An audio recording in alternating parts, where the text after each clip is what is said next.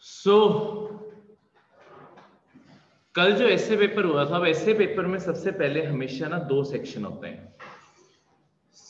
Section A और section B section A में से आपको एक ऐसे करना है और सेक्शन बी में से आपको एक ऐसे करना है। ठीक है? तो मतलब ये चार में से कोई भी एक ऐसे इन चार में से कोई भी एक ऐसे तो टोटल करके हमने दो ऐसे अटेम्प्ट करने होते हैं तीन घंटों में। तो एक्चुअली ऐसे के पेपर में आपके पास टाइम थोड़ा सा ज़्यादा खुला होता है, आप आराम से पेपर अटेम्प्ट कर सकते हो। इसमें आपके पास सोचने का फ्रेमवर्क बनाने का और उसके बाद लिखने का हर चीज़ का टाइम अवेलेबल होता है। आराम से मतलब आराम से पेपर पूरा होता है, क्योंकि एक ऐसे अराउंड हज़ार से बारह सौ वर्ड्स में लिखना है। ठीक है? तो ये आराम से हो जाता है। एक तरह से अगर क्वेश्चन देखे जाए तो आपके टोटल मतलब करके दस क्वेश्चन अटेम्प्ट करने हैं, जहाँ पे आप पेपर में बीस करने होते हैं। मतलब टाइम के वर्ड लिमिट में अगर मैं बताऊँ तो। इसी कारण देखो, अब ऐसे सबसे पहले सिलेक्ट कैसे करना होता है? ऐसे सिलेक्शन के लिए हमेशा दो चीज़ें देखनी है। सबसे पहली चीज़ जो तुमसे जुड़ी हुई है, एक चीज़ तुमसे जुड़ी हुई है, एक चीज़ बाकी जो पेपर दे रहे हैं उनसे जुड़ी हुई है। पहली चीज़ है नॉलेज नॉलेज और इसी के साथ दूसरे तरीके से लिख सकते हो अंडरस्टैंडिंग सबसे पहले कोई भी जो ऐसे की हेडिंग है, देखो यूपीएससी के जो ऐसे होते हैं ना, इसमें डायरेक्टली ऐसे नहीं होता कि मतलब स्कूल लेवल वाले ऐसे नहीं है कि डायरेक्टली लिखा होगा कि इसी चीज़ के ऊपर ऐसे लिखना है। पर दूसरी साइड पे ये सबसे बड़ा बेनिफिट भी है।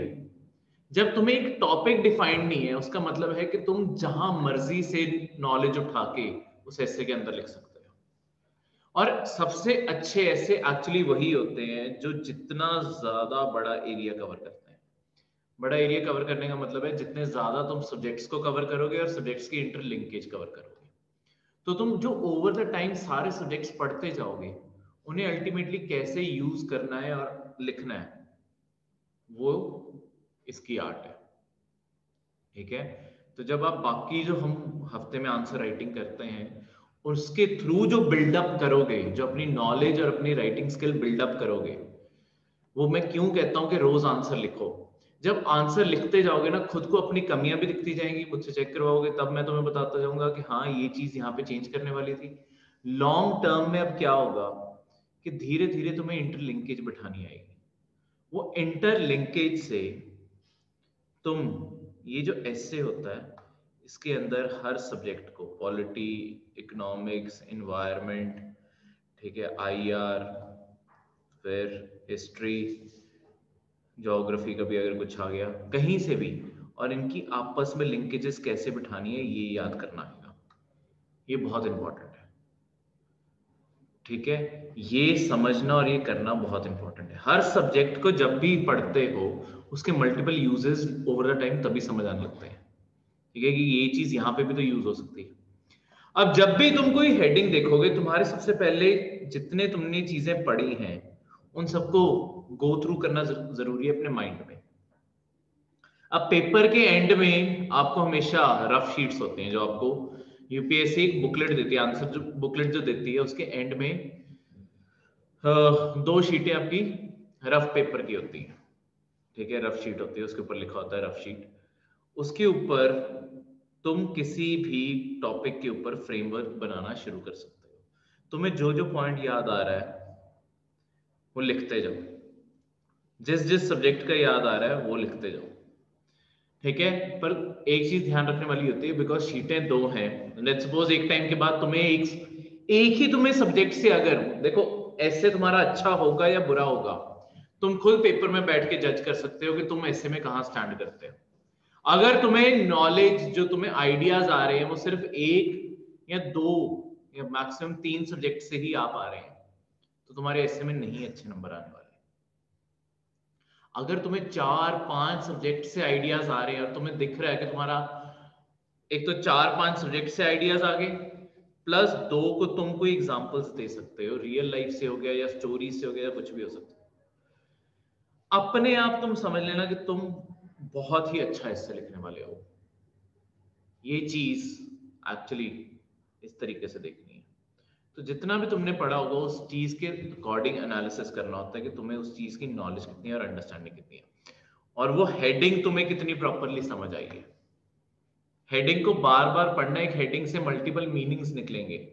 जितने मीनिंग्स तुम निकाल पाओगे, जितने तरीके से तुम उसे इंटरप्रेट कर पाओगे, उतने एक्चुअली सब्जेक्ट से भी तुम पॉइंट्स निकाल पाओगे। तो उस चीज़ को बार बार पढ़ना ज़रूरी है। पहला तो ये फैक्टर अब कई ऐसे बहुत ही आसान होते हैं दिखने में। मतलब ऐसे ऐसे जो कॉमन टॉपिक्स हैं, हमने अक्सर बात की होगी क्लासेस में और सब चीज़ में। पर एक चीज़ याद रखना, जो चीज़ आसानी से अवेलेबल है ना, वैसे हर कोई लिखेगा। ठीक है? अब उसके कारण प्रॉब्लम क्या है? मतलब ये तो तुम्हारा था इंटरनल फैक्टर अब है एक्सटर्नल फैक्टर की बारी। एक ऐसे दोनों सेक्शंस में ऐसा होगा जो सबसे ज़्यादा लोग लिख रहे होंगे। अब होता क्या है जो ऐसे को सबसे ज़्यादा लोग अटेम्प्ट करते हैं? एग्जामिनर वो सेम टॉपिक बार बार पढ़ रहा है, वहाँ पे चेक करता हूँ। उसके माइंड में हमेशा कंपैरिजन जनरेट होगा कि ये उसने ज़्यादा बेटर लिखा था, इसने नहीं लिखा। चाहे तुमने अपनी तरफ़ से बेस्ट अटेम्प्ट दिया तो वो जो सबसे कॉमन टॉपिक होता है, उसे हमेशा इग्नोर करना है। बाकी तीन का तुम्हें कोई आइडिया नहीं है। ऐसे नहीं कि ज़बरदस्ती कोई और लिखने बैठ जाओ, क्योंकि सर ने बोला था कि कोई और ही लिखना है, सबसे अलग होके। पर पता ही नहीं लिख क्या रहे हैं, वो नहीं करना। अगर बाकी तीन में से लेट्स सपोज़ चार ऐसे थे टोटल ये कॉमन था, ठीक है, जो तुमने बार बार सुना है और बहुत, तुम्हें पता है कि इसकी नॉलेज हर आदमी को ही है। ये वैसे क्रॉस हो गया। अब जो बाकी तीन बचे, उसमें से सेकंड जो तुम्हें आता है गो फॉर दैट वो अटेम्प्ट करो। ठीक है? क्योंकि अगर लेट सपोज़ टोटल जो पंद्रह हज़ार लोग अपियर हो रहे हैं आपके मेंस के पेपर में, ठीक है? पंद्रह हज़ार में से अक्सर यही होता है कि बारह हज़ार यही लिख के बैठे हैं। ठीक है? बाकी तीन हज़ार ही बाकी तीन में बटे हुए हैं। ठीक है? और उसमें से भी एक्चुअली पॉसिबिलिटी यही है कि जो तुम ऐसे जो तुम्हारा सेकंड बेस्ट है, वो ऐसे पे भी अराउंड 2000 लोग उसी को लिख रहे होंगे। बाकी 500 500 में बटा होगा। ठीक है? पर वो फिर एक्स्ट्रा ऑर्डनरी नॉलेज वाले लोग हैं, उन्हें उस टॉपिक के बारे की ही नॉलेज होगी। तुम भी हो सकते हो उन 500 में से। लेट्स सपोज़ तुम्हें ये अच्छे से आता था। तुम भी 500 में से हो सकते हो, मैं ये नहीं कह रहा हूँ। ठीक है? पर 12000 से एनी डे 2000 में होना बेटर है। क्योंकि एग्जामिनर जितनी कम रेपिटेडली वो सेम टॉपिक पढ़ेगा, उतने ज़्यादा चांसेस हैं अच्छे नंबर आने के। ये एक्चुअली बार बार एक्सपीरियंस से बोल रहा हूँ ये।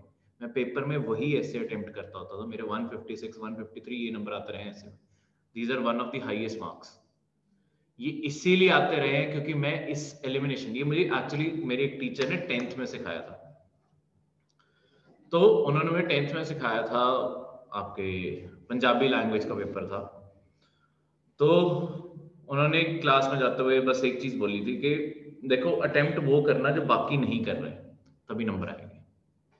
और एक्चुअली मेरी पंजाबी लैंग्वेज कोई ज़्यादा स्ट्रांग नहीं थी, पर मेरे तब भी नंबर आ गए, क्योंकि मैंने हर क्वेश्चन में वही ऑल्टरनेटिव ढूंढा बेटर है। तो उस टाइम से मैं इस फिलोसफी के साथ एक्चुअली स्टिक किया। और मुझे लगता है ये यूपीएससी में भी मेरे लिए काम करता रहा क्योंकि मेरे नंबर बहुत ही बेटर आते रहे हैं इससे। इस कारण मैं तुम्हें इसी फिलोसफी के साथ स्टिक करने कहूँगा कि हमेशा उस हिस्से की तरफ़ जाओ। देखो टॉपिक सारे हमेशा कवर हो सकते हैं, ऐसा कुछ नहीं है कि चार टॉपिक नहीं आते होंगे पर ये चार टॉपिक कई बार बहुत ही लिमिटेड नॉलेज में तुम्हें क्रिएट हो जाते हैं, ठीक है? तो एक, अगर कोई टॉपिक तुम्हें बहुत ही लिमिट कर रहा है ना फिर वो ऐसे को अटेम्प्ट मत करना। फिर तुम अपने आप को एक्चुअली साइड पे जाने की जगह ना नुकसान कर जाओगे। इसलिए मैंने तुम्हें पहला पॉइंट बताया कि नॉलेज होनी चाहिए। उसके बाद देखो यूनिकनेस अगर तुम अपने आप को बाकियों से यूनिक साबित कर सकते हो तो अपने आप तुम्हारे नंबर बढ़ जाएँगे। ठीक है? ये जानबूझ के सबसे आसान चीज़ें डाली होती है और अक्सर ये चीज़ कोई गाइड नहीं करता और ज़्यादातर लोग इसी ट्रैप में फंसते हैं। ठीक है? अब सेक्शन ए से शुरू करते हैं। Life is long journey between human being and being humane बहुत ही अच्छा टॉपिक क्या मतलब है इसका? देखो डिस्कशन का सेशन है, आराम से जो भी तुम्हारे मन में आता है, सोचना ही है। तो कोई कुछ भी मन में आता है ऑनलाइन भी अपना माइक अनम्यूट करो नीचे से और बोलो, यहाँ पे भी। क्या लगता है इस टॉपिक का मतलब क्या है? हिंदी का तो आपके पास है शेयर कर सकते हो। ठीक है इंग्लिश वाला यहाँ पे दिखा रहा हूँ।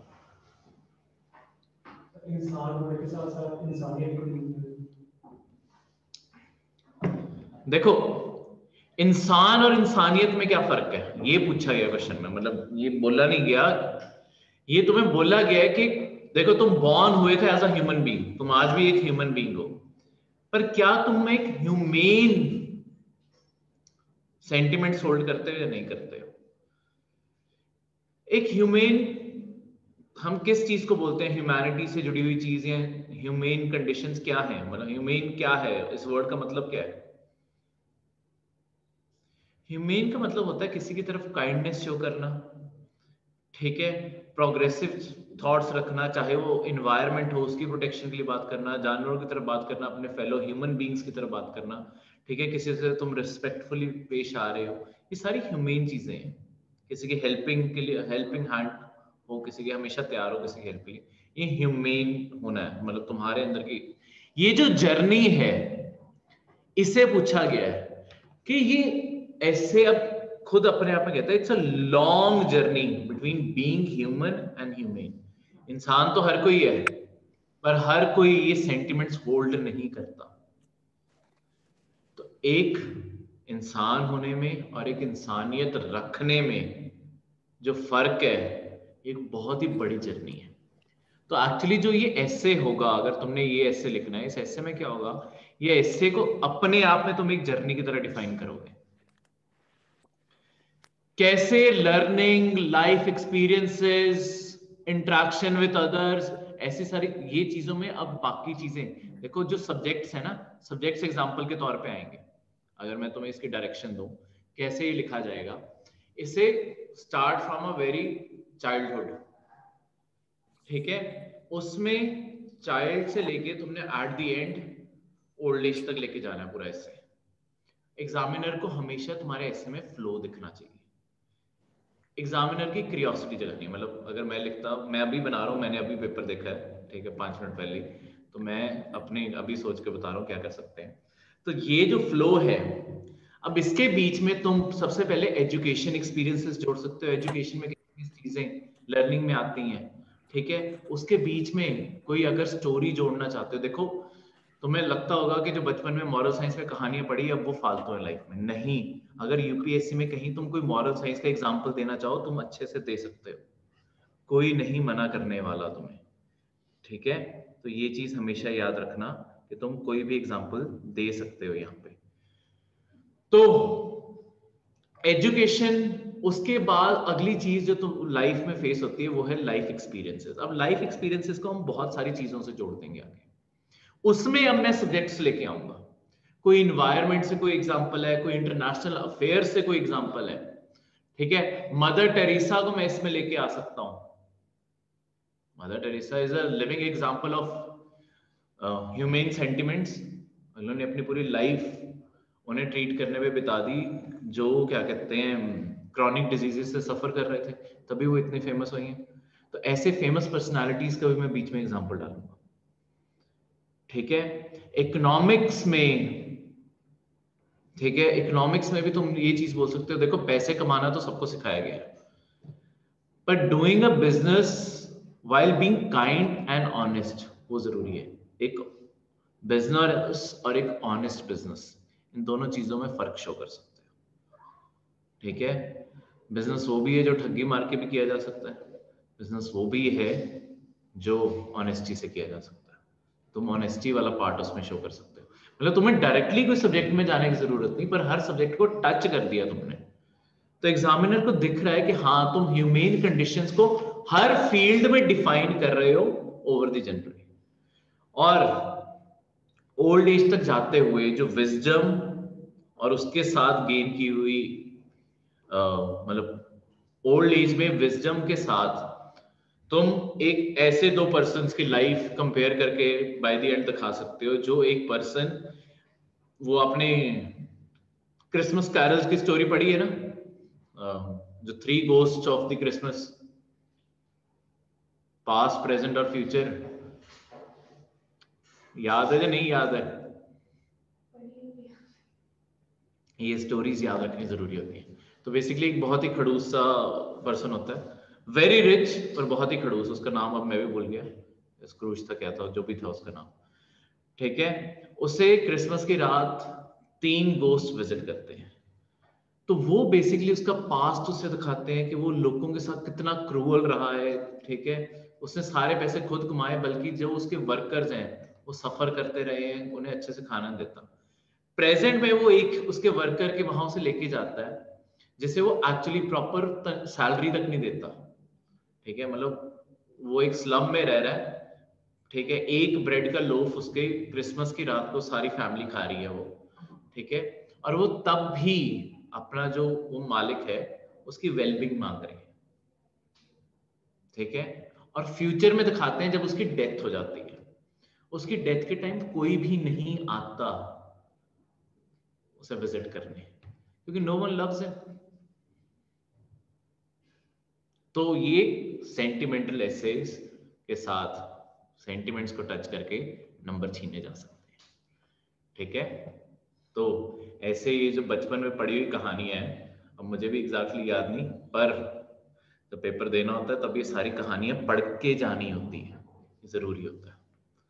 ठीक है? तो मॉरल साइंस पढ़ के जाना बहुत ज़रूरी है, क्योंकि ज़्यादातर आपके ऐसे हमेशा मॉरल साइंस से जुड़े हुए हैं।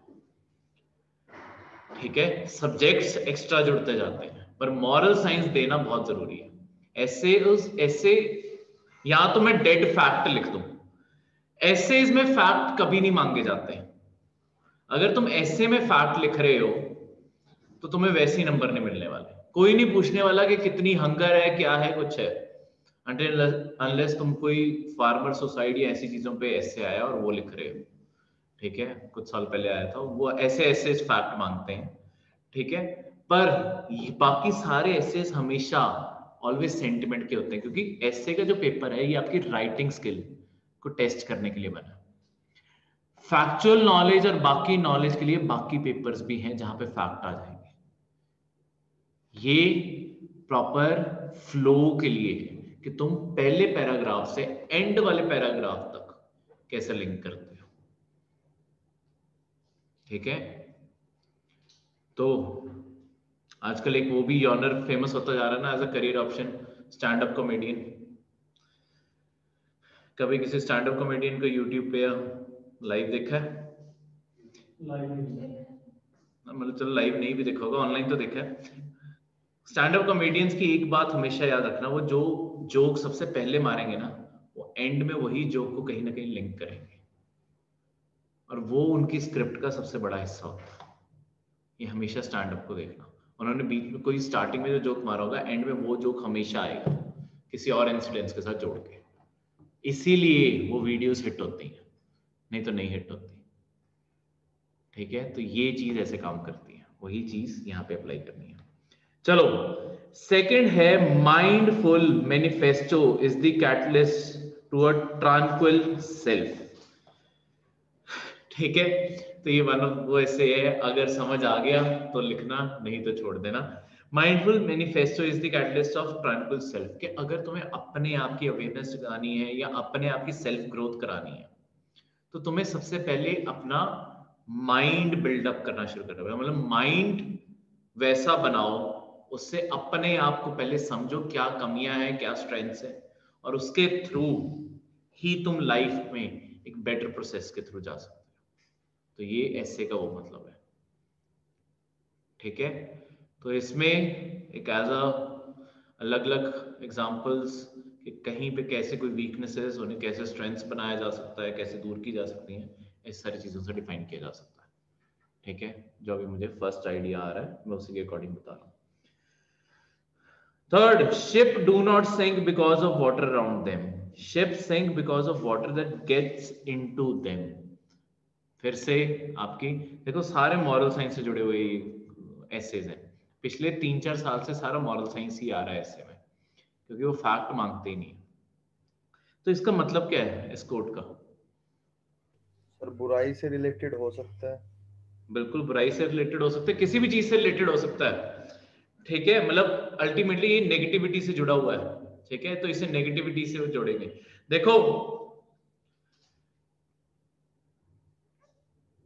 लाइफ में सौ लोग मिलेंगे तुम्हें डिस्करेज करने के लिए। पर एक्चुअली तुम क्या डिस्करेज होते हो या नहीं होते? वो तुम्हारे ऊपर है। तुम शिप हो, वो पानी है। शिप को तब तक फ़र्क नहीं पड़ता, चाहे वो समुद्र में होती है शिप कोई फ़र्क नहीं पड़ता। सारी चारों तरफ़ अगर नेगेटिविटी भी है, अगर पानी भी है, कोई फ़र्क नहीं पड़ रहा। पर शिप को तब फ़र्क पड़ता है जब वो पानी उसके अंदर सीप इन करने लगता है। अगर लोगों की मेंटालिटी तुम्हारी मेंटालिटी को इफ़ेक्ट कर रही है तो गलती एक्चुअली तुम्हारी है। लोग तो सारे नेगेटिव है। कुछ तो लोग कहेंगे, लोगों का काम कुछ कहना। ठीक है? पर अपना माइंडसेट वैसे बिल्ड करना, ये उसके ऊपर है। ठीक है? तो इसमें लोगों की कोई, खुद अपनी तरफ़ से कोई स्टोरी क्रिएट कर सकते हो। ठीक है? मतलब कहीं ना कहीं डिफाइन करते हुए कि कोई पर्सन था, उसे हर कोई बोलता था, ये नहीं हो पाएगा, ये नहीं हो पाएगा। वो तब भी रोज वही काम करता रहता था। और अल्टीमेटली उसने वो काम करके दिखाया। मतलब कोई भी ऐसी स्टोरी अगर कोई मॉरल साइंस में मिल जाए, वैसे स्टोरी भी लिख सकते हो। इसके अलावा आपके बहुत सारे अब इस चीज़ को जब जोड़ना है, अब हर सब्जेक्ट जोड़ना ज़रूरी है। ठीक है? तो अब इसे हर सब्जेक्ट से कैसे जोड़ोगे? वो अब ट्रिकी पार्ट है। ठीक है? स्टोरी तो कोई ना कोई ढूंढ ही लोगे, बस एक स्टोरी से मैंने तुम्हें कभी बताया, कुछ नहीं होता तुम्हें हर चीज़ से जोड़ना ज़रूरी है। ठीक है? तो अब क्या क्या सब्जेक्ट यूज़ कर सकते हैं? उस तरीके से सोच के देखते हैं। हम्म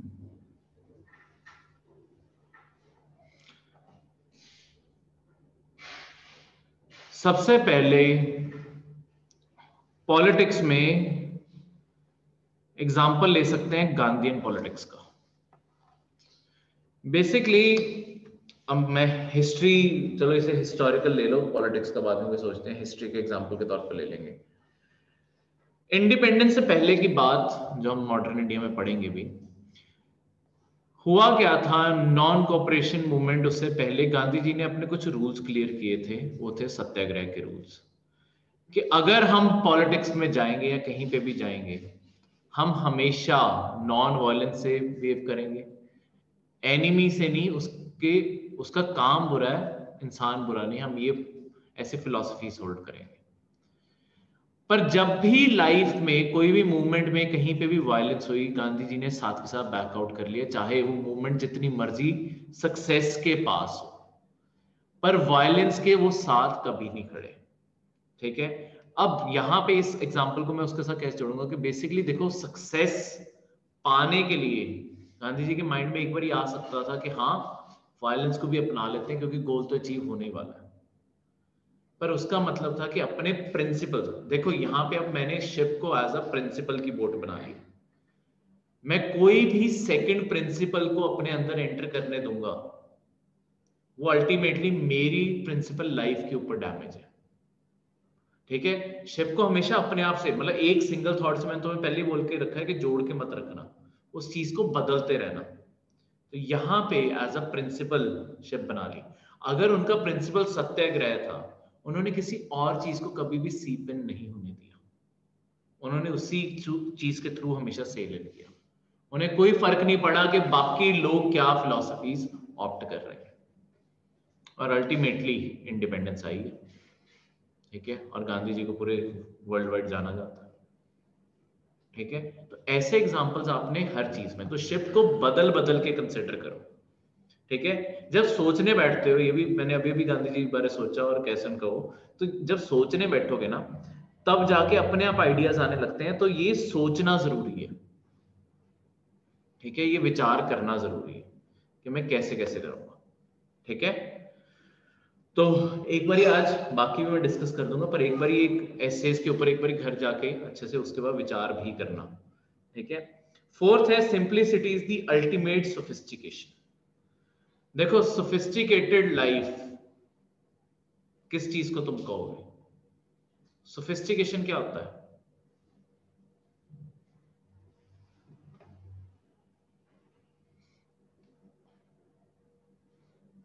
सोफिस्टिकेटेड क्या होता है?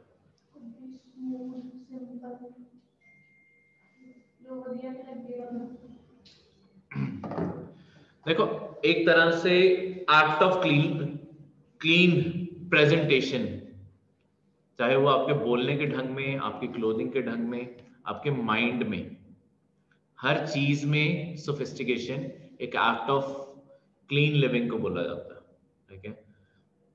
अगर आप वेल ड्रेस्ड हो वेल ग्रूम्ड हो, आपको लोग सोफिस्टिकेटेड बोलेंगे। अगर आप अच्छे से लोगों से बात करते हो, आपको लोग सोफिस्टिकेटेड बोलेंगे, ठीक है? ज़्यादा लाउड नहीं हो, ठीक है? सटल हो उन चीज़ों को लोग सोफिस्टिकेशन इस चीज़ को रेफर करते हैं। तो इसमें सिंप्लिसिटी क्या रोल प्ले करती है? कभी बिल गेट्स को देखा है? कैसे कपड़े डाल के घूमता है? फॉर्मल भी, कोई कोट पैंट तो डालता नहीं हो। सिर्फ़ एक शर्ट डाली होती है स्वेटर डाली होती है पैंट डाली होती है और स्पोर्ट शूज़ डाले होते हैं। तो क्या बिलगेट्स के पास पैसे नहीं है कपड़े खरीदने के। और उसकी जगह जितने भी ये आपके खासकर जो वेस्टर्न रैपर्स है ठीक है ये पा, पाँच पाँच किलो की सोने की चेन डाल के वो सब कुछ। कभी भी किसी रैपर को तुम लाइफ में एज अ आइडल नहीं सेट करोगे। ये हमेशा देख लेना। तुम कभी ये नहीं कहोगे मुझे इसके जैसा बनना है लाइफ में। पर Bill Gates Elon Musk Jeff Bezos इन सबको वैसे देखो। ये जितनी सिंपल लिविंग से रह रहे हैं। मुकेश अंबानी अपना लोकल एग्जांपल ले लो। मुकेश अंबानी को देखना। कभी भी कोई इतना वेल ड्रेस नहीं होता हो। और उसे लेना देना क्या है? तो सोफिस्टिकेशन इस चीज़ से नहीं जुड़ी कि तुम पहनते क्या हो या तुम मतलब अपने आप को प्रेजेंट अल्टीमेटली तुम अपने आप को प्रेजेंट कैसे कर रहे हो? तो सिंप्लिसिटी प्रमोट्स पॉजिटिविटी मतलब इस ऐसे की फ्लो कहाँ से लेके जाओगे? सिंप्लिसिटी से शुरू करना। एक साइड से दूसरे वर्ड तक जाएँगे। सिंप्लिसिटी लाइफ में क्या क्या प्रमोट करती है हम पहले वो चीज़ें बताएँगे। तो उसका फ्लो एक तरह से होना चाहिए कि वो पॉजिटिविटी प्रमोट करती है। ठीक है? अटल बिहारी वाजपेयी पॉलिटिक्स का एग्ज़ाम्पल हो गया। पॉलिटिक्स में जाएँगे तो। अलग अलग एग्जांपल्स ले सकते हैं। हैं जी? मनोहर पारिकर थे सर। मनोहर पारिकर लगा लो। अटल बिहारी वाजपेयी क्योंकि बहुत बड़े पब्लिक ओरेटर रहे हैं। और डॉक्टर मनमोहन सिंह भी बिल्कुल ठीक है। पर हमेशा कोशिश किया करो उनके एग्ज़ाम्पल लिया करो। या तो जो करंट पॉलिटिक्स में इन्वॉल्व नहीं है ठीक है क्योंकि चाहे वो रिटायर होना चाहते हैं पर बेचारे कांग्रेस रिटायर नहीं होने दे रही ना उन्हें। तो इसलिए गो फॉर द एग्जाम्पल्स जो डायरेक्टली पॉलिटिक्स से नहीं जुड़े हुए, क्योंकि हमने किसी के पॉलिटिकल व्यूज़ को नहीं हिट करना। ठीक है? तो उस तरीके से। अटल बिहारी वाजपेयी को ऑपोजिशन और प्रेजेंट गवर्नमेंट दोनों ही रिस्पेक्ट देती है, अगर अटल बिहारी वाजपेयी का लोगे। उससे पीछे जाना है पीवी नरसिम्हा राव। उनके उस पर चले जाओ। पीवी नरसिम्हा राव, धोती और वो सब कुछ डाल के सिंपल लाइफ जी रहे थे। अगलों ने इंडिया के लिए जो किया है किसी चीज़ से कम नहीं है। ठीक है? तो इसमें तुमने सोफिस्टिकेशन जो वर्ड है वो अल्टीमेटली डिफाइन करना है एज अ पर्सनालिटी और तुमने चाम की तरफ़ लेके जाना है लोगों की पर्सनालिटी की तरफ़। तो हर फ़ील्ड में से कोई इन्वायरमेंटलिस्ट ठीक है सलीम अली जैसे इन्वायरमेंटलिस्ट जो रहे हैं मतलब ये ओवर द टाइम क्योंकि हम चीज़ें पढ़ते जाएँगे तो तुम्हारी नॉलेज एक साल में इनके रिगार्डिंग बनेगी। तो ये जो चीज़ें हम पढ़ते जाएँगे, इन्हें इस तरीके से याद रखना है कि जो महान महान हस्तियाँ हैं, उनके कहीं ना कहीं एग्ज़ाम्पल बन सकते हैं। ठीक है? उनकी पर्सनालिटी को, उनके कहीं, किसी भी चीज़ को, कहीं पे भी पढ़ते हो, बस उस चीज़ को पढ़ के माइंड में वैसे जहन में रख लिया। कभी ना कभी काम आ जाता है। ठीक है? तो अलग अलग फ़ील्ड से एग्ज़ाम्पल निकालोगे इकोनॉमिक्स में से बिल गेट्स का एग्ज़ाम्पल निकाल लेना। ठीक है? पॉलिटिक्स में से पीजे अब्दुल कलाम एनवायरमेंट में से सलीम अली आ, हाँ सलीम अली इनका एग्ज़ाम्पल हो गया। तो ये अलग अलग लोग आपकी सोफिस्टिकेशन मतलब सिंपल लिविंग सिंपल लिविंग के थ्रू इन्होंने आसपास के लोगों को अपने चाम अपनी पर्सनालिटी से कैसे लोगों को अट्रैक्ट किया। लोग हमेशा फिर इस चीज़ को उस फ्लो की तरफ़ लेके जाना कि चाम एक करिश्मा वही अल्टीमेटली सोफिस्टिकेशन है। ठीक है? A manner to present manner to talk मतलब तुम्हारे ओवरऑल ऐसे में से ये वर्डिंग आनी चाहिए। मतलब ये लिखना कहीं नहीं है, पर ये ऐसे खुद बोलता हुआ दिखना चाहिए कि अल्टीमेटली सोफिस्टिकेशन वही है, जिस तरीके से कोई पर्सन बोल रहा है, लोगों को इन्फ्लुएंस कर रहा है, और लोगों को इंस्पायर कर रहा है।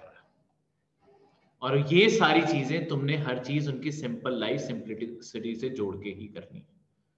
तो ये इस तरीके से होगा। क्लियर है? अब ये तुम्हारे ऊपर है कि तुम इनमें से कौन सा ऐसे अटेम्प्ट करोगे? क्या लगता है कौन सा ऐसे अटेम्प्ट करोगे? वाला सर जयदेव आपने क्या बोला? Third one sir third one बाकी? अपना ऑनेस्ट व्यू कोई भी किसी भी साइड जा सकते हो। हाँ जी सौरभ क्या लगता है कौन सा? चारों में से। बाकी भी मैसेज पे लिख के बता सकते हैं। Diksha simplicity Palka four. बाकी हाँ जी Umed second mindful manifesto the catalyst to the tranquil self तुम उनमें 500 में से ही हो गए ये मैं पहले बता रहा हूँ। मुश्किल है ये ऐसे में तो पहले बता रहा हूँ। ठीक है, इन चारों में से सबसे मुश्किल सेकंड वाला है। सेकंड वाले को एक्चुअली अटेम्प्ट करने वाले ही मैक्सिमम 500 लोग होंगे। पर वो अब ये देख लो कि एक्चुअली रेस में क्या आता है? स्फीयर का। ठीक है? कितना सोच पाओगे? हाँ जी, साक्षी। शबनम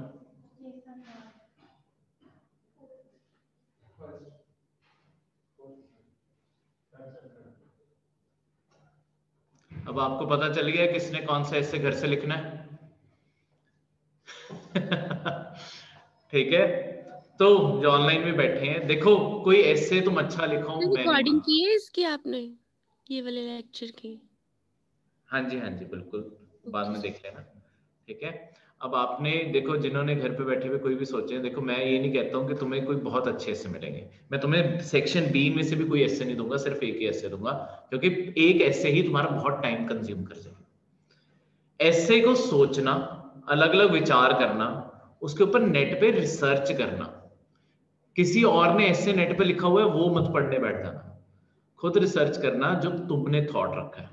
देखो, होगा क्या, चाहे तुमने नहीं भी अच्छा ऐसे लिखा, पर उसकी जगह चार से पाँच कहानियाँ जो तुम्हें आगे जाके काम आ सकती हैं। अगले साल भी तो पेपर देना ही है। तो किसी और का ऐसे पढ़ के सेम ऐसे लिख लोगे, उससे कोई फ़ायदा नहीं होगा। पर चार से पाँच नई कहानियाँ या कोई फैक्ट पढ़ लिए, वो तुम्हारे काम आ जाएँगे।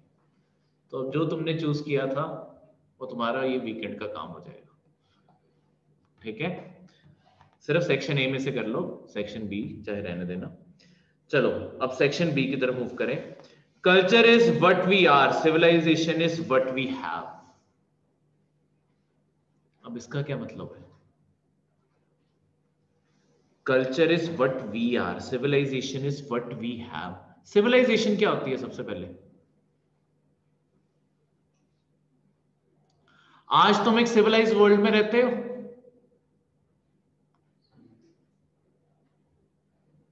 क्या है आज की सिविलाइजेशन आज की सिविलाइजेशन को कहते हैं मॉडर्न सिविलाइजेशन मॉडर्न सिविलाइजेशन क्या है? देखो, पुराने जमाने में क्या होता था, एक स्पेसिफिक ज्योग्राफी के अंदर अंदर सिविलाइजेशन लिमिटेड होती थी. मॉडर्न सिविलाइजेशन एक ग्लोबलाइज सिविलाइजेशन है. तो अब खुद सोचो, अगर मैं ये कह रहा हूँ कि पूरी दुनिया एक सिविलाइजेशन है, ठीक है मैक्सिमम जो कंट्रीज़ सिविलाइज का मतलब होता है जो एक प्रॉपर सोसाइटी के रूल्स पॉलिटिक्स के रूल्स अबाइड करते हुए रहते हैं लोग। वो एक सिविलाइजेशन में होते हैं। ठीक है? तो हमारी जो पूरी दुनिया में कुछ रूल सेट हुए हुए हैं, चाहे वो ट्रेड के हों, चाहे वो पॉलिटिक्स के हों, चाहे वो सोसाइटी के अपने मॉरल्स हों। क्या आज तुम्हारा मन करे कि मैं किसी को जाके गुलाम रख लेता हूँ? रख पाओगे? क्यों? चोरी छिपे रख लो। कौन रोक रहा है? पर नहीं रख पाओगे क्योंकि तुम्हें, अगर तो तुम्हारे अंदर मॉरल्स हैं तो तुम्हें अपने आप वो हिट करेगा कि आज की तुम्हारी सिविलाइज सोसाइटी स्लेवरी को प्रमोट नहीं करती। ठीक है? तो ये civilization common rules set of rules हो गए ना पूरे समाज के, ये सिविलाइजेशन होती है। पर क्या पूरी दुनिया का कल्चर एक है? क्या इंडिया के अंदर ही कल्चर एक है? नहीं। तो हर जोग्राफी कल ही कल्चर बारे हम पढ़ रहे थे तो जोग्राफी जो है geography local food local clothing और लैंग्वेज ये अल्टीमेटली डिफाइन करती है कि आप किस कल्चर को बिलोंग करते हो। तो हमारी सिविलाइजेशन जो है, वो एक मल्टी कल्चरल सिविलाइजेशन है। मॉडर्न सिविलाइजेशन एक मल्टी कल्चरल सिविलाइजेशन है। अब ये कल्चर हम हैं। सिविलाइजेशन में हम रहते हैं। ये है इस ऐसे का बेसिक क्रक्स। तो तुमने इसमें से जो फ्लो क्रिएट करना है, वो ये करना है कि कैसे cultural diversities over the time interact करते करते, ठीक है अलग अलग फ़ील्ड में जब इंट्रैक्ट करते मतलब सब्जेक्ट वाइज ही बन सकता है आराम से। स्टैंडर्ड रूल सेट हो गए कि डिक्टेटरशिप को दुनिया नहीं पसंद करती। डेमोक्रेसी एक सिविलाइजेशन का रूल बनता जा रहा है। ठीक है? तो कल्चरल फिनोमिना से कैसे सिविलाइजेशन के फिनोमिना तो कल्चर में अगर फ्रीडम होगी to speech to elect their leader वो अपने आप सिविलाइजेशन में दिखेगी। अगर तुम्हारे कल्चर में इन्वायरमेंट को इंपॉर्टेंस दी जाती है, अब इसमें तुम एग्ज़ाम्पल के तौर पे हिस्ट्री में जाके वेदास को मेंशन कर सकते हो। वेद जो है आपके हिंदुइज्म में, वो नेचर को पूजने को प्रीच करने को बोलते हैं। ठीक है? उसमें नेचर वर्शिप भी है नेचर को इंपॉर्टेंस दी गई है। तो उससे लेके तुम जो दुनिया में ग्लोबल वार्मिंग का इश्यू है और उसके रिगार्डिंग जो अवेयरनेस जनरेट करनी चाहिए और जो पूरी सिविलाइजेशन को एक साथ एक्ट करना चाहिए, उसे तुम वेदा से कनेक्ट कर सकते हो। तो मैंने इन्वायरमेंट को हिस्ट्री से कनेक्ट किया और रिलीजन से कनेक्ट किया। ये मल्टीपल चीज़ों को कनेक्ट करते करते कैसे कल्चर्स इंटरेक्ट कर रहे हैं और वो एक ग्लोबलाइज वर्ल्ड की सिविलाइजेशन कॉमन सिविलाइजेशन क्रिएट कर रहे हैं। इस फिनोमिना की तरफ़ जाना है। ये होगा एक बहुत ही मतलब बहुत अच्छा टॉपिक है और बहुत ही ब्रॉड और बहुत ही अच्छा टॉपिक लिखा जा सकता है। Second there can be no social justice without economic prosperity. But economic prosperity without social justice is meaningless. अब ये वैसे आपकी हाँ प्रियम्बल से भी इसकी शुरुआत मतलब प्रियम्बल पॉलिटिक्स में इसे प्रियम्बल में भी लेके जा सकते हो। ठीक है? फिर इकोनॉमिक्स तो तुम अपने आप ही जोड़ दोगे। अब इसमें है क्या? There can be no social justice without economic prosperity तो जब तक इकोनॉमिक प्रोस्पैरिटी नहीं होगी, तब तक सोसाइटी में कभी जस्टिस नहीं हो सकता। अब ये कैसे इन दोनों का सबसे पहले इतनी हाफ़ स्टेटमेंट का क्या मीनिंग है वो देखते हैं। स्टेटमेंट को हमेशा जो बड़े ऐसे के क्वेश्चन होते हैं, उन्हें हमेशा हाफ़ हाफ़ तोड़ के भी देखा करो। उनमें से भी अलग अलग मतलब निकलाते हैं। No social justice without economic prosperity economic prosperity क्या होता है? कि समाज पैसे कमाए, समाज अमीर होता जाए। मतलब आज अगर किसी के पास खाना नहीं है, कुछ नहीं है, क्या उसे एक तरह से सोसाइटी में जस्टिस मिल रहा है? अब तुम ही अपनी प्रैक्टिकल लाइफ से, मैं तुम्हें, तुम कैसे डिस्क्रिमिनेट करते हो? या तुमने देखा होगा एटलीस्ट चलो तुम्हारे ऊपर नहीं इल्ज़ाम लगाते, पर तुमने सोसाइटी में ये चीज़ देखी होगी। एक साइकिल वाला जाके बीएमडब्ल्यू में टक्कर मारता है और एक दूसरी गाड़ी वाला जाके बीएमडब्ल्यू में टक्कर मारता है।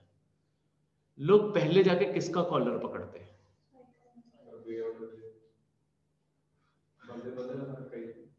बीएमडब्ल्यू वाला वहीं खड़ा है, ठीक है? तुम्हारे पास भी बीएमडब्ल्यू थी, ठीक है? गलती तुम्हारी है, ठीक है? तुमने जाके टकरा दिया। अब दूसरे बारी भी तुम नॉर्मली खड़े हो, अब तुम खड़े हो। साइकिल वाला साइड से जा रहा था, उससे थोड़ा साइकिल स्लिप हुआ और लग गई। गाड़ी से निकल के आओगे तुम बाहर।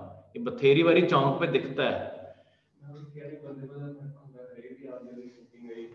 पर मैं तुम, मैं वही कह रहा हूँ, मैं तुम्हें नहीं कह रहा, पर ये ज़्यादातर हमेशा, मैंने तो समाज में ये नोटिस किया है चौंक में। निकलते ही ऑटो वालों को मारने लग जाएँगे, वो करने लग जाएँगे। पर जो कोई अपने साथ वाला होगा, उसे कहेंगे, चल, कोई नहीं। लग गई तो लग गई यार, कोई बात उस पर गुस्सा निकाल रहे हो जिसके पास इकोनॉमिक प्रोस्पेरिटी नहीं है। ठीक है? बल्कि डेंट जाए दूसरे ने बड़ा डाला हो। ठीक है? क्योंकि सोशल जस्टिस कहीं ना कहीं इकोनॉमिक प्रोस्पैरिटी से जुड़ा है। ठीक है? अगर जो ये ट्रीटमेंट जो है, ये इसी स्टेटमेंट को रिप्रेजेंट करती है। मतलब ये जो मैंने एग्जांपल दी। इसके बाद, पर economic prosperity without social justice is meaningless अगर मैं कह रहा हूँ कि समाज में पैसा आ रहा है, पर वो पैसा बराबर बट नहीं रहा सोशल जस्टिस का मतलब है कि सोसाइटी में बराबर पैसा बटे भी ऐसा नहीं कि अमीर अमीर होते जा रहे हैं, गरीब गरीब होते जा रहे हैं। तो वो अपने आप में मीनिंगलेस है। फिर समाज के अमीर होने का फ़ायदा क्या हुआ? अगर एक साइड पे लोग हद से ज़्यादा अमीर हो रहे हैं और दूसरी साइड पे लोगों को खाना भी नहीं मिल रहा। ठीक है? तो ये उसका मतलब है। तो इसमें अब जो मेरे दिमाग में आ रहा है, मैं उसी चीज़ को बदल के इसमें लिख देता। वो मूवी आई थी ना रणवीर सिंह की जो जिसमें वो रैप करता है। गली बॉय गली बॉय में जब वो टैक्सी चला रहा हो मतलब कार चला रहा होता है ना, उस, वो ना तब एक उसमें गाना आता है कैसी है दूरी? कैसी मजबूरी? ठीक है, एक साइड पे बड़ी बड़ी बिल्डिंग खड़ी हो रही है और दूसरी साइड पे बच्ची भूखी सो रही। तो वो हिंदी में है सारा। ठीक है, पर जितना को मुझे वो गाना याद आ रहा है, जैसे यही लाइन याद आई, इसमें किस तरह किस तरह इंग्लिश में घुमा के, इसकी अलग कहानी बना के ये लिख देता, किसी को ना पता चलता उसने उस पूरे गाने में ये सोशल प्रोस्पैरिटी और सोशल इनजस्टिस के बारे ही है वो गाना इकोनॉमिक प्रोस्पैरिटी और उसे कंपेयर किया उसने। तो ऐसा नहीं होता कि लाइफ में कोई भी चीज़ तुम नॉनसेंस सुन रहे हो। जो इंफॉर्मेशन जहाँ पे मिलती है उसे तोड़ मोड़ के अगर तुम लिख सकते हो, वही ऐसे है। ठीक है? तो उसने रैप किया था उसने हिंदी में किया था, जितना थोड़ा बहुत याद हुआ। बस उसे से एग्ज़ाम्पल उठा के वो लिख दिया ना कहीं गली बॉय लिखना है, ना कहीं ये लिरिक्स लिखने हैं। ठीक है, कहीं रैप भी लिखने लग जाओ, ये कैसी है ये दूरी, कैसी मजबूरी। वो नहीं करना, पर इसी से देखो उसने, अब मैं एग्ज़ाम्पल देखो, मेरे बाई चांस माइंड में ये क्वेश्चन पढ़ते हुए वही चीज़ आई। तो एक्चुअली क्योंकि उसने आज वो, इसके बाद वो गाना सुन के देखना तो हमें इसका सारा कंटेक्स्ट उस गाने में मिल जाएगा। उसने सारा का सारा ऐसे तुम्हारे लिए लिख के दिया हुआ है। पर उसने गाना लिखा है, तुमने उसे को इलेबोरेट करके ऐसे लिख सकते हो। तो ये होती है कि मूवीज़ या कोई भी चीज़ ही हार्मफुल नहीं होती। तुम इनसे अल्टीमेटली डिराइव क्या करते हो? वही चीज़ मैटर करती है। ठीक है? यूज़ हर चीज़ को करो ऐसे में। ऐसे वही अच्छा है जो हर चीज़ को यूज़ कर सके। ठीक है? उसने तुम्हारे लिए काम आसान करके दिया है तो करो। Next third patriarchy is the least noticed, yet the most significant structure of social inequality. ये थोड़े दिन पहले हम इंडियन सोसाइटी में करके हटे हैं। पेट्रियार्की दिखती नहीं है हमारे समाज में कि एक्चुअली पेट्रियार्की किस हद तक लगी हुई है। पर सोसाइटी का मोस्ट सिग्निफिकेंट स्ट्रक्चर है, जिसके कारण सोशल इनइक्वालिटी क्रिएट होती है। अब इसका एग्जांपल ये ऐसे तुम किसी भी हद तक भर सकते हो। जो हमने डिस्कशंस की हैं। न्यूट्रिशन से भर सकते हो एजुकेशन से भर सकते हो, ठीक है? डिसीज़न मेकिंग से भर सकते हो, जो सीईओ का एग्ज़ाम्पल दिया था इकोनॉमिक्स में वो भर सकते हो, कि दुनिया में सिर्फ़ वुमेन सीईओ है ही नहीं, ठीक है? कंपनीज़ जो हायर करने में डिस्पैरिटी करती है, उसका एग्ज़ाम्पल हो गया, सारा भर सकते हो ये। ये तो बहुत एग्ज़ाम्पल दे दिए इसके तो। तो ये तो बहुत ही कॉमन टॉपिक जो इसके ऊपर हम डिस्कशन कर चुके हैं। ठीक है? और ये वो टॉपिक है जिसके ऊपर सेक्शन बी में से सबसे ज़्यादा हिस्से लिखे जाएँगे ये हंड्रेड परसेंट है। ठीक है? थर्ड ऐसे वो है जिसपे वही बारह हज़ार लोग जो लिख रहे हैं। ठीक है?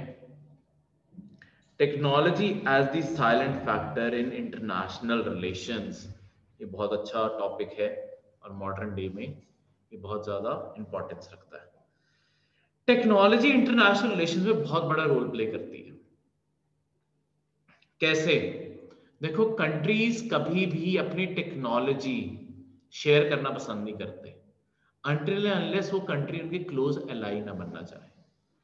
जैसे लास्ट 2019 में इंडिया को यूएसए ने स्टेटस दिया अपने क्लोजेस्ट एलाई का।